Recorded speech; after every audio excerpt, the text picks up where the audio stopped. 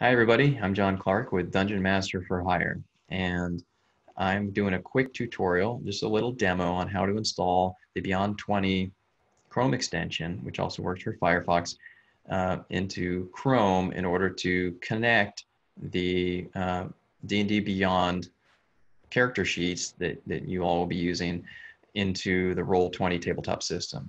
Um, and the reason we do that is because the character sheets in and D&D Beyond are just are so much superior and it's so much easier to manage your character uh, in D&D Beyond than it would be in Roll20. Um, and especially when it comes to leveling up, handling your equipment, um, and even customizing your character sheet, managing your conditions and hit points, uh, inspiration, etc. Um, it's it's just far easier to use the character sheets in D&D Beyond and also between games it gives you the ability to um, you know pull your character sheet up and it gives me as the dungeon master the ability to manage your characters if i need to. All right so let's just get started. So you can see i have two chrome windows up. On the right hand side is is roll 20 um, have a little battle about to happen here between ogre and his cave bear and a few characters. Um, and then on the left hand side over here i have Tharnar, who is the rogue of the party. Um, and so I'm just going to show you how to connect these two. I don't have the, the plugin or the uh, extension installed right now, so I'm just going to do that. So the first thing you need to do um, is install the extension. You can see here's your little extensions uh, window for Chrome. It's how it works. It looks like a little puzzle piece. All right, so I need to find it first. So I'm just going to do a search for uh, Beyond 20 Chrome extension and there it is beyond 20. Okay, the page will look like this and just hit add to Chrome, add extension.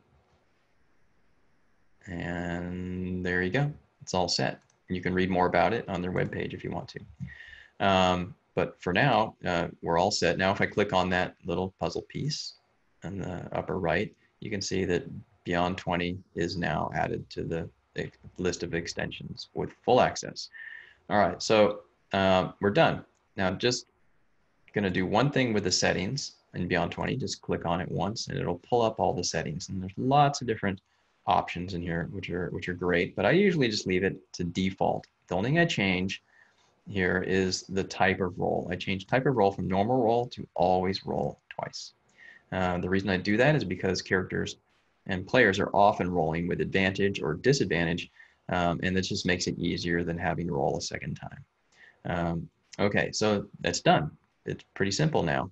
Um, if I want to say, um, do an initiative roll, which would be the first thing you're gonna do in a combat for Tharnar, um, here's how you do it. So in roll 20, select Tharnar or select your, your character's token.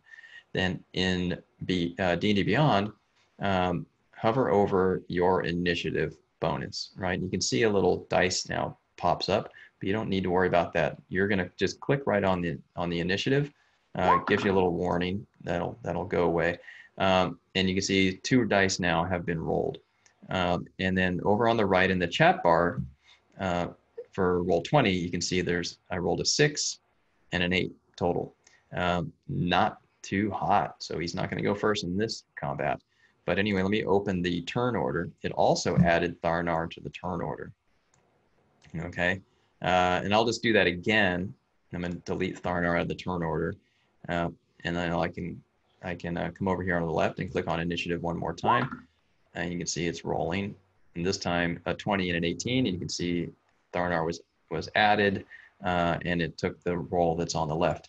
Now, because it's rolling twice, um, you know, as, as a, the Dungeon Master to play, you're always looking at the roll that's on the left, unless I tell you you have advantage or disadvantage. If you have an advantage, you look at both rolls and you take the highest one. If you have disadvantage, you look at both rolls and you take the lowest one. So different circumstances give you advantage or disadvantage. Okay, so now we know that Tharnar, well, he's going last, but we're not going to worry about that. We're just going to look at how he attacks now using using uh, D&D Beyond into roll 20.